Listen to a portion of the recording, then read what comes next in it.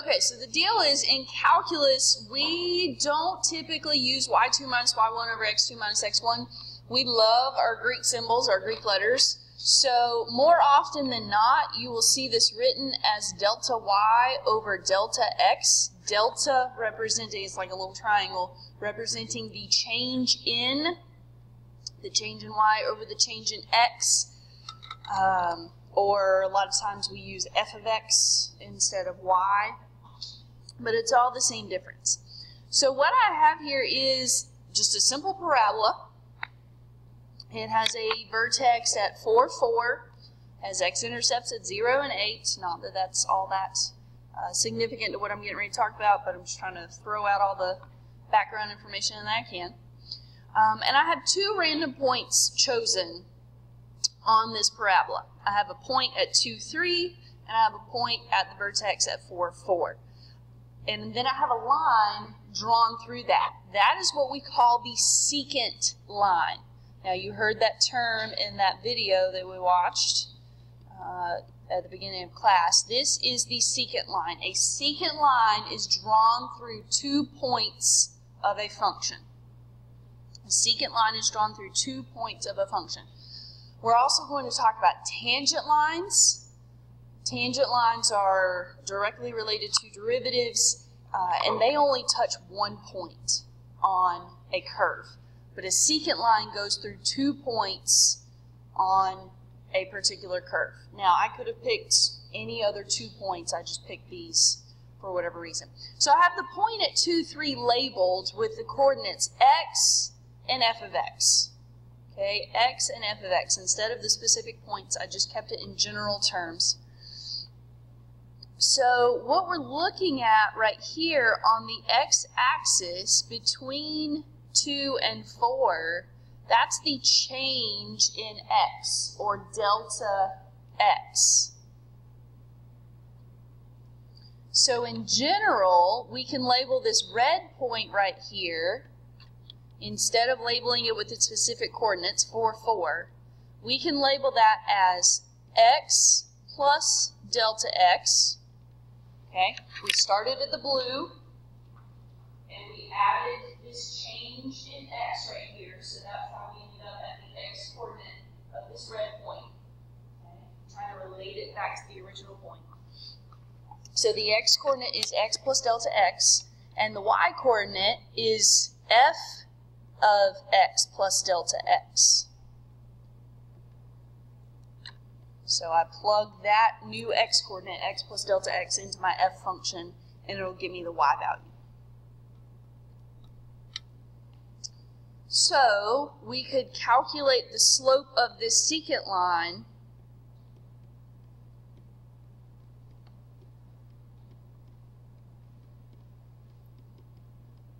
using this formula, f of x plus delta x, the second y coordinate minus the first y coordinate over the change in my x coordinates, which is just delta x.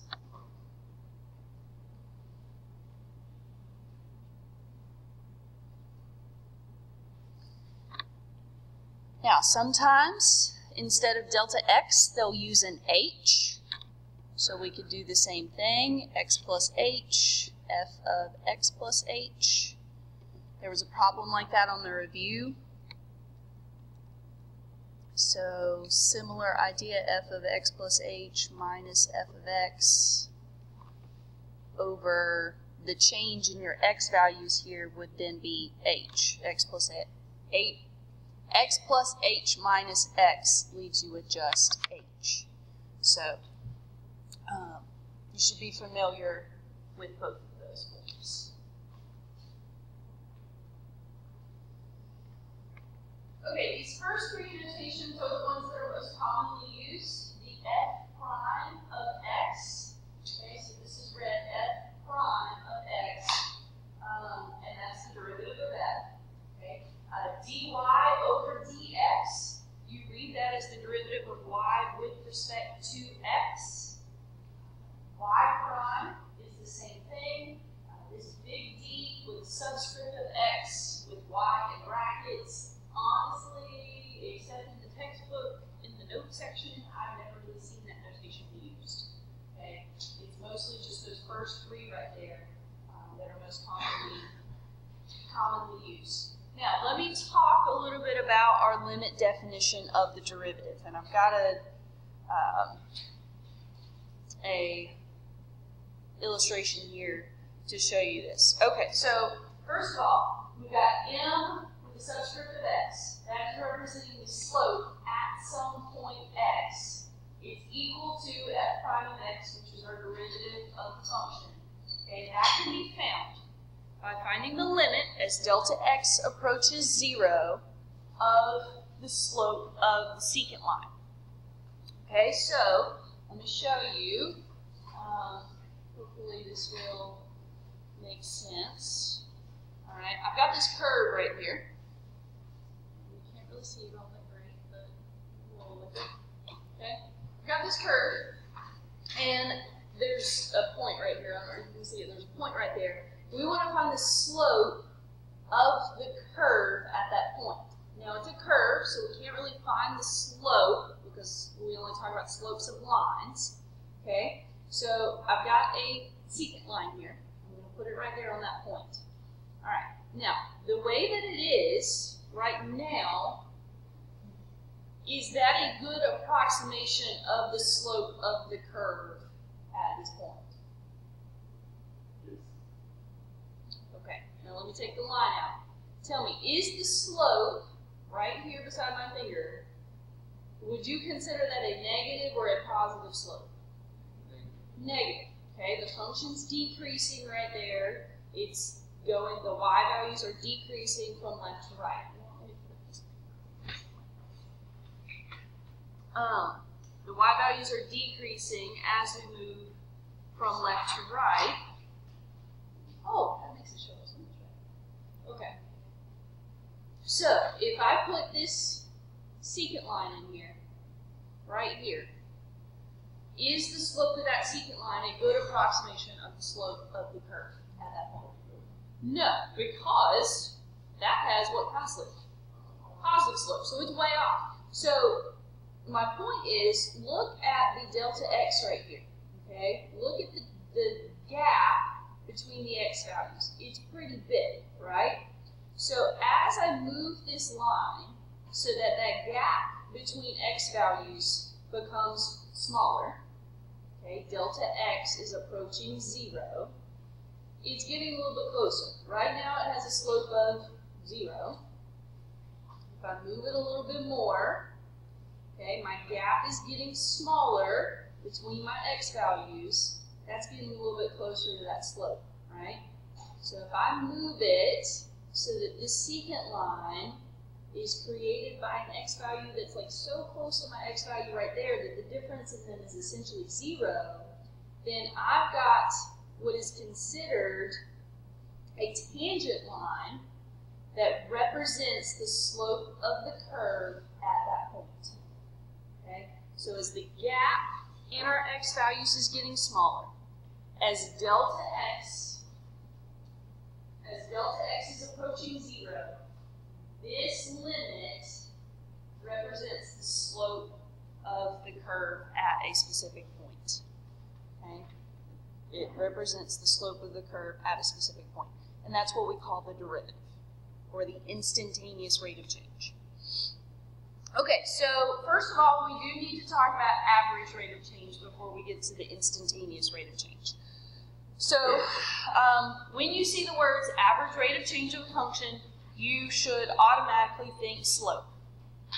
Automatically think slope. When they ask you for the average rate of change of a function, you should think slope. And the steps for that, you plug in the x values. They're going to give you an interval. They're going to give you the x values and an interval. You're going to plug those into your function to get the y values. And then you're going to just essentially calculate the slope of that interval. Worksheet. Okay, here's calculate slope of that interval. And it is literally that straightforward. Okay? But most people forget that when they see the word average rate of change, that that cues them to think slope. Average rate of change, automatically you should think slope. That's all I have to do. It's not really calculus. I'm just calculating slope like I did in like the eighth grade.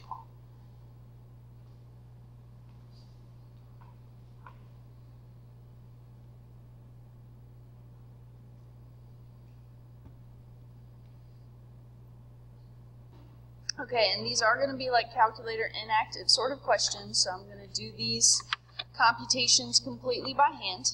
We have a cubic function, negative x cubed minus 5x, and they're asking us to calculate the average rate of change over the interval from negative 2 to 3. So that means negative 2 is our first x value, 3 is our second x value, x1, x2 if you want to label them. So I need to start by finding f of negative 2, which means I'm plugging negative 2 into my f function. I think that we've had this clarified, but when there is a negative in front of the uh, uh, variable in the original function, then that means you apply the power and then change the sign of your answer.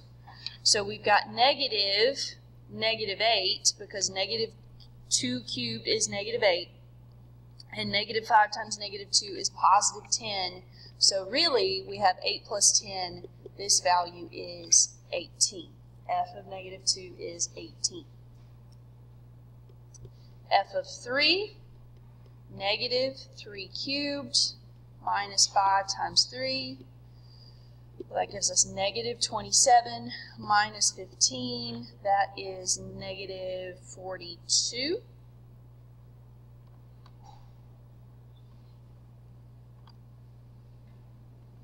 So my average rate of change, you'll see that abbreviated AROC, average rate of change, uh, subtract my y's over subtracting my x's, Make sure you get them in the right order.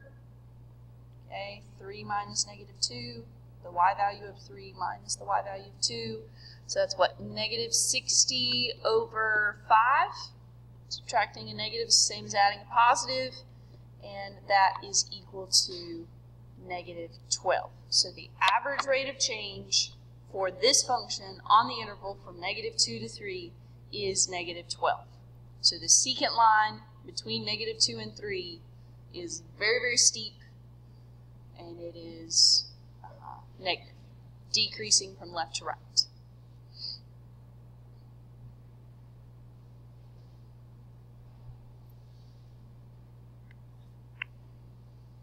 Yes. Yes, that is the slope of the secant line between negative 2 and 3.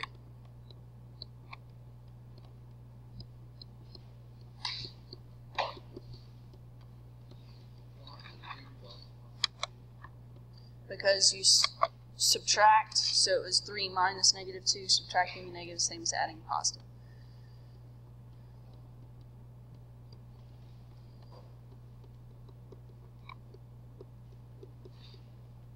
Yes, negative 12 is the slope of the secant line between x is negative 2 and x is positive 3 for this function. Different function, different slope.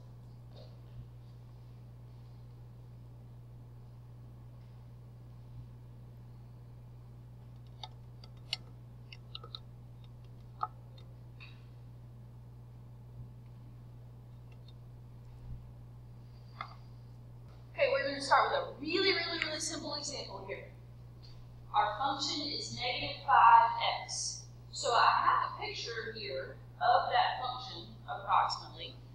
That looks similar to the function negative 5x. So if the derivative is the slope of the line that's tangent to this one, meaning that it just lays right beside of it, what do you think our answer is going to be? What's the slope? Negative pi, okay? The, the derivative is the tangent line. Well, if our function is a line, then the line that lays right against the function is that line, okay? So we're expecting the answer to be negative 5. Let's see how we get